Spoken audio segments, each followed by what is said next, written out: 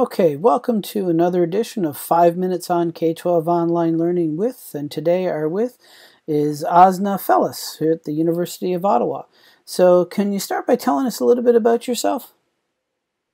Yes, uh, first of all, I wanted to thank you, uh, uh, Michael, for this initiative of bringing us together uh, to think about how we can harness our expertise and experience to help teachers and parents in these difficult times.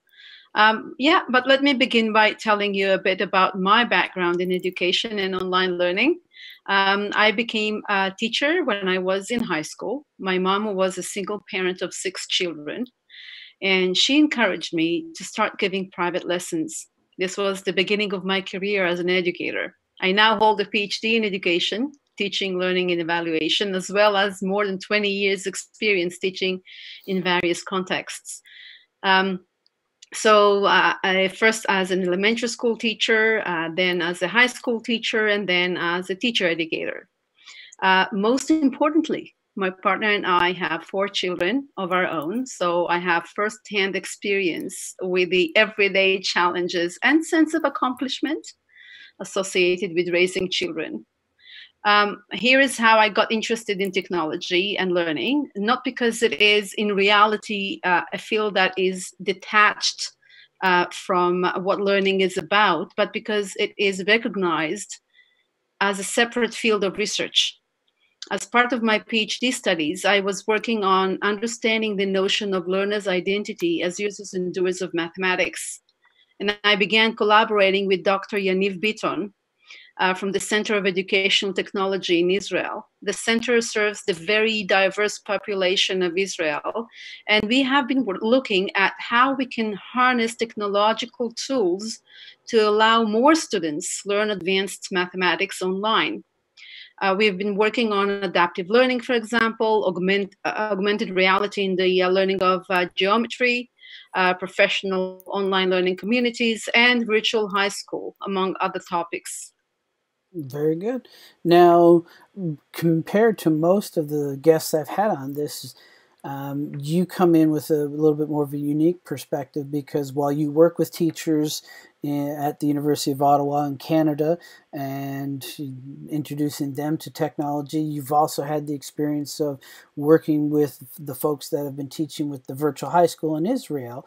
Um, so you've, you've got a much more international perspective than a lot of the folks that uh, we've had on uh, this uh, feature. So, thinking about those teachers now that are being tossed into this remote instruction environment, um, what are some things that you've learned over the years?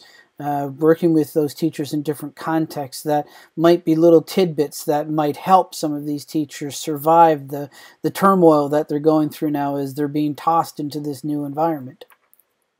So one thing I learned uh, is that uh, there's not much of a difference um, in uh, what teachers do with children in uh, different countries. It's basically it basically boils down to the fact that uh, and to the reality that teachers really are there to make sure that uh, students grow and develop. I mean, regardless whether it is in Israel, in Canada, in in or in the United States, England, or any other countries. So but these are special times um, and that requires special approaches to optimize remote learning um, uh, because there are so many tools, programs, and renditions of content available online.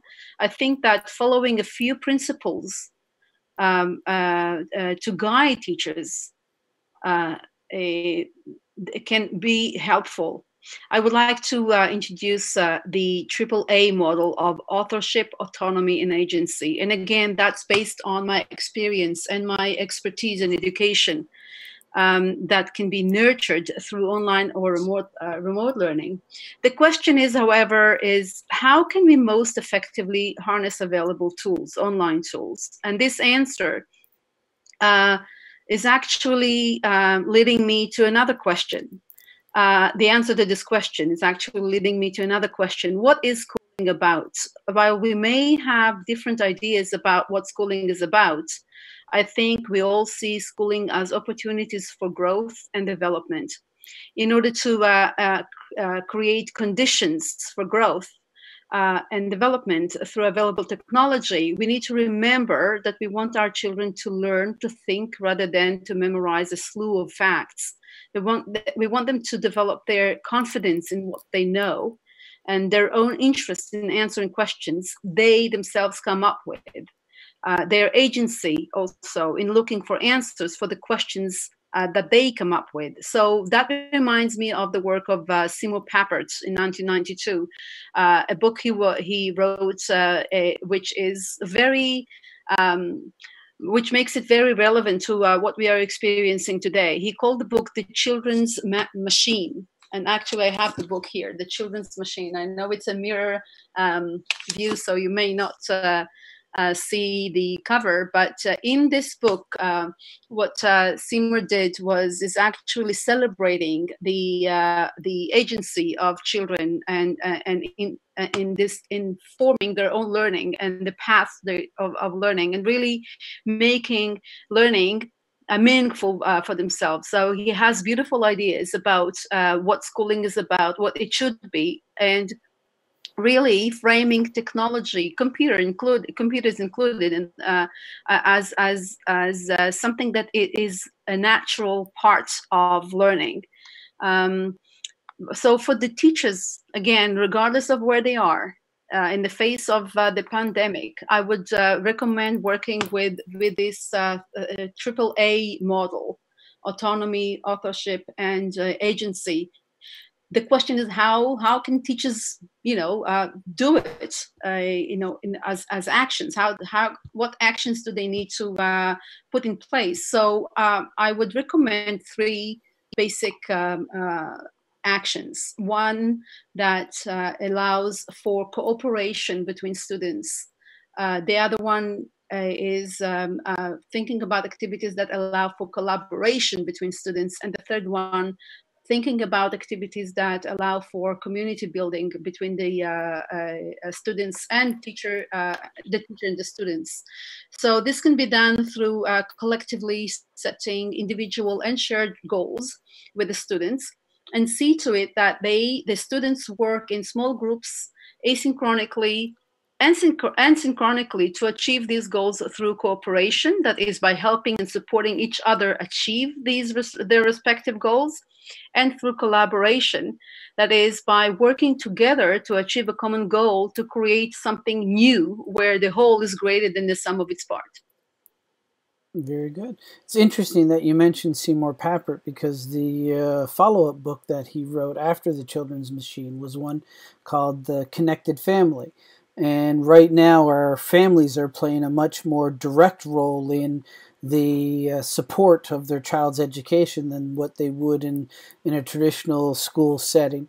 Um, so, thinking about the parents that are out there now who have children at home but are expected to um, at least facilitate with you know the, the guidance of the teacher um, their children's learning at this stage, what advice would you have for those folks? Thank you for this question. As uh, fulfilling and enjoyable uh, it may be to raise kids in any in, in, during normal times, it's not easy to be a parent in normal times. Uh, juggling work, home, uh, the kids' schedules around physical activity, uh, schoolwork, and at the same time attending to their health and well-being but it's more it's far more uh, challenging to be a parent under such restrictions imposed on us in order to fight off the pandemic of covid-19 one of the biggest changes that require adjustments on the part of the uh, parents and adaptation is the new reality where time space and action need to be reconceptualized. If as parents we were used to getting up in the morning at a certain time wake up the kids have breakfast, get dressed, leave the house to catch the bus or, or and go to school and be there on time in order to begin a school day or work day. Today, this division between time, space, and activity is no longer readily available. So the question is do we need to create new configurations of time, space, and activity? I say yes. We do. We need to learn how to create spaces in sufficient conditions that make it possible for our children to maintain structure and to build on our natural ability to learn and develop. Um, so that can be basically by uh, again keeping it simple right? I mean it's so overwhelming. The experience in and of itself is so overwhelming. So in order to keep it simple i would suggest that parents think about um, uh, opportunities to allow kids to come up with their own interests formulate their own questions what do they want to do what and how do they want to structure their day so that again going back to the triple a model the kids come up with their own schedule with the understanding of what really uh, learning means. Uh, uh, by the way, the definition of curriculum, right, the etymology of the word curriculum is to run with. I think schools, um, and there's so much research that shows that schools have forgotten um, what what curriculum really means and should mean to run with the interest of the children. And that goes back to uh, what Seymour Papert said a long time ago. And and so that the, the, the, situation today and the interview with you Michael really makes me think uh, that we need to um, um, be actually satisfied with this opportunity. I mean, if we look at the positive aspect of this experience, this is an opportunity for us as teachers and parents to build on this uh, special reality and, and really finally making sure that uh, kids do grow and develop with our support uh, and, and really make it possible for them to uh, develop their agency, autonomy, and authorship of uh, content. All right, perfect. Well, thank you very much for this, Osnat. And uh, you've been watching another edition of Five Minutes on K 12 Online Learning with, and today our with has been Osnat Fellus.